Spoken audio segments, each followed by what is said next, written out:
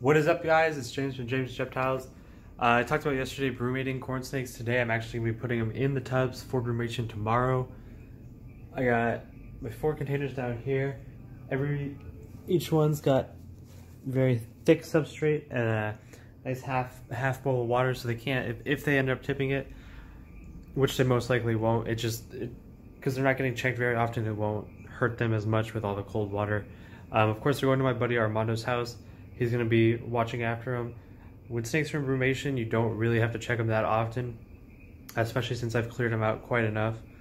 Uh, he's got his own corn snakes he's going to be brumating, so he's just going to put those along with his, and I'll see him in a couple months.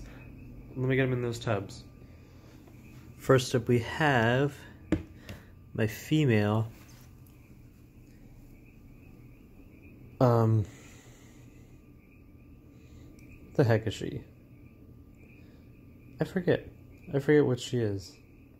I have it saved somewhere, and I should put it on the tub, but I don't. She is. I honestly have no idea what she is. She's definitely cool though. Her name's Spaghetti.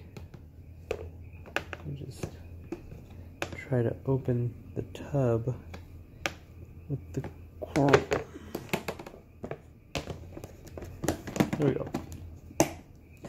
There we go. Let me just pre-open all of these.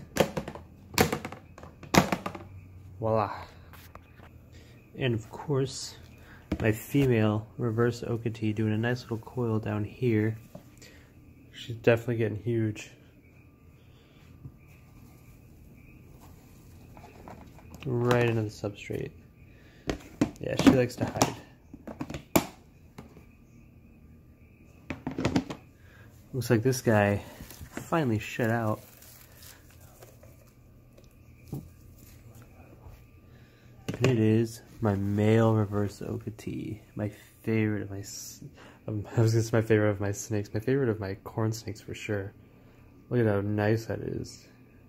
It almost looks like a red zip. In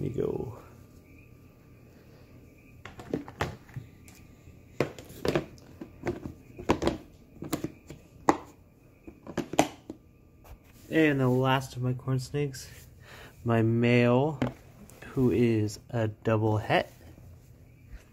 Uh, was a visual something, of course. God, I can't remember what that is. I gotta, I gotta check. I gotta check because it should be important what his genes are, but for some reason, I don't know. So come tomorrow. I'll take all these to work and I'll drop them off with Mondo, and I will leave them in his care. Of course, Mondo is a good friend of mine. Um, someone I trust, someone that's really popular in the community. Everyone trusts Mondo. He's just such a great guy.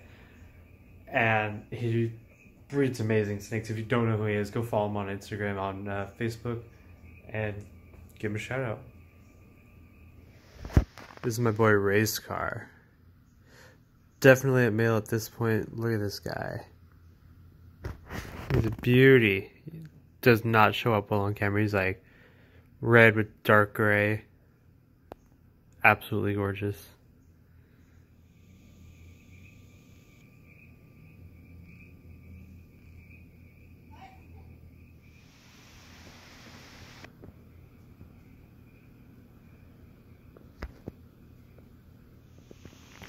This is one of my nicest babies right here. Uh, for for different reasons. Um, of course, I'm keeping a lot with a lot of big spots. This has a lot of speckles of the black, the red, and the oil spots. No, not really any of the white spots, but it's up on Morph Market. Um, if it doesn't end up selling and it ends up being a female, I'll keep it, but it's looking like a male. In fact, I would guarantee that as a male, unfortunately. Look at all those speckles. How do I always end up producing all males? Of course, my lily white, hopefully it'll be getting its own, uh, well, it'll be getting its own tank soon. As soon as I set it up, sell a couple more geckos, make enough money to set it up. Really hoping this one's a female too. Uh, one I produced, its name is Sandra Lee.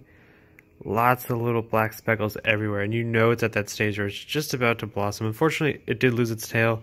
Uh, not really worried there if it's going to be a breeder, but it's at that stage where it's just about to start uh, getting tons of more spots.